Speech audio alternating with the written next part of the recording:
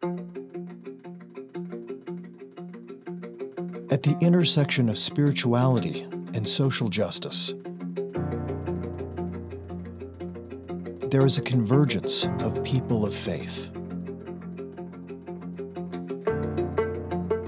Defending the humanity of immigrants and the dignity of the incarcerated.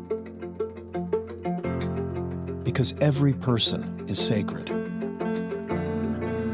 Compassion has no borders, and love has no walls. The Interfaith Movement for Human Integrity.